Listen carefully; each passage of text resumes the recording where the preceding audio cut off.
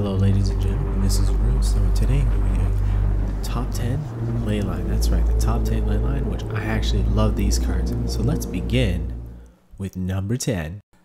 Which at number 10 we got Leyline Prowler from War of the Spark, which is an uncommon going for roughly 18 cents on the market.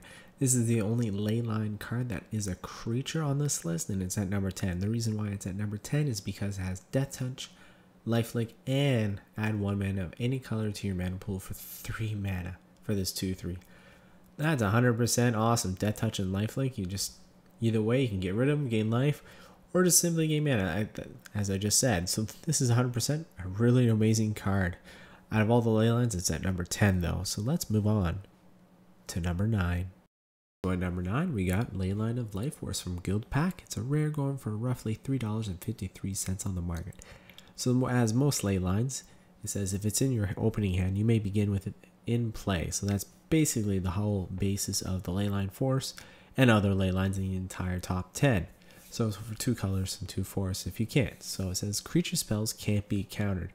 The reason why it's at number 9, well, it's very specific against blue decks, so that's why I find it should be at number 9. But if you're playing against blue deck, well, this is awesome. You know, they can't just counter anything. So let's move on to number 8. At number 8, we got Leyline of Singularity from Guildpact, a rare, which is going for roughly $1.52 on the market. Again, I'm not going to repeat this, we'll do it just for this card. You can begin the game with it in play if it's in your opening hand. So it says all non-land permanents are legendary. Well, there's many cards that can help with this combination card. This is why it's at number 8 because in general it's not very good uh, when it comes to ley lines, it's not very good, but because of the combination that could possibly happen with this card, can make this very efficient card. And that's why here it is at number 8. So let's move on to number 7. Which we have Leyline of Abundance, which is from Core 2020, and it's a rare, roughly going for $2.63. The reason why Core 20 cards for the series is going up because not a lot of people bought them, so this is why they're high, high value. Basically, it says whenever you tap a creature for mana, add an additional 1. So for 6 colors and 2 forests, put a plus 1 plus 1 counter on each creature you control. So once if you get that out right away, that can actually be very, very powerful. You can start pumping out mana as fast as you can. This is very efficient enchantment, so that's basically it. Pumping out creatures, so it's unlike it's not targeted, it's helping you. So let's move on to number 6 and number six, which is Leyline of Punishment. So it's from Magic 2011, a rare going for roughly $2.93. I like this card because, well, it's kind of more of an annoyance than anything else. So it says players can't gain life and damage can't prevent be prevented. So it kind of works around several colors. So this is why it's at number six because it kind of works around that and damage can't be prevented. So this card is already red. So if you're doing a burn deck, you know it's not going to be prevented. That's why it's here 100%. So let's move on to number five. At number five, we got Leyline of the Void from various sets. It's a rare, going for roughly $8.56 on the market. So basically, you lay out their Leyline. It's if you're opening your hand, you may begin with it on the battlefield. It says if a card be put into an opponent's graveyard from anywhere, exile it. Well, that will destroy any graveyard retrieval if you really need that. So this card is 100% annoying and it is very good in various sets and throughout the whole Magic world. You put this into any deck, it can be quite annoying as there are many cards playing with the graveyards. So this is why it's worth this much. Let's move on to number four. So what we're going to start with is at number four, we got the Leyline of Combustion, which is from various sets. It's a rare going for roughly 29 cents. I feel like it should be worth a lot more because I am a fan of its ability.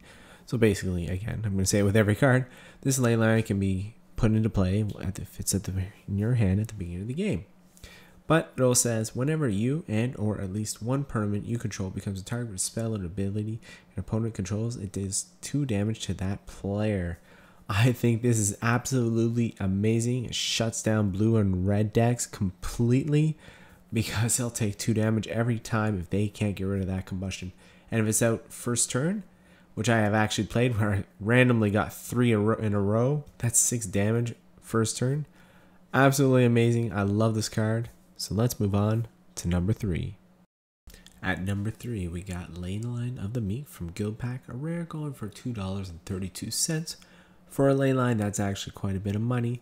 The reason why here it is at number three is well, basically, so if it's in your opening hand, you can put it in play.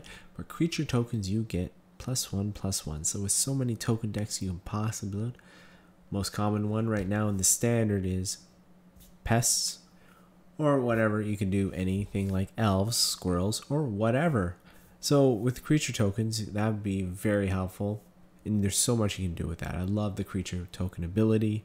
And this is why it's at number three. So let's move on to number two. At number two, we got Leyline of Anticipation from various sets, which is a rare. Going for it. That's right, $6.83 at the market at this time of the video. Picture is very cool. Blue is actually pretty generally pretty good, but it says you may cast spells as though they had flash. Wow, so that just means you can play anything anytime. That just throws the enemy off. Whatever. like I said, this is at number two. Uh, 100%. I like the flash ability because you can play anything and just, like I said, I said it before and I'll say it again, just screws with the enemy. And if they attack, they may not want to attack. Maybe they don't want to burn. So this is basically a really good card unless the other person has instants as well. So let's move on actually to number one. Now, number one is actually 100% personal choice. Is Leyline of Sanctuary. It's from various sets. It's a rare going for $3.74. So this one is at number one because I personally love this card. It is absolutely the best. I 100% know that not a lot of people will agree with me. The blue one say is just better, but this one for me is a personal. This basically says you have hexproof. So you can't be the target of spells or abilities your opponents control. Again, like I said, the I normally don't do my personal um, opinion. Well, I, I, am doing my personal opinions right now, but um, what cards I prefer over other cards, and I'm doing a logical way. This one is not logical. This is 100%. I think this is number one. It is not the best of the lines, but to me, it is. This is why it's at number one. I love this ability of you having hexproof. And that is actually all the cards on the list, and I hope you enjoyed it. So I hope you guys have a good day and a good evening.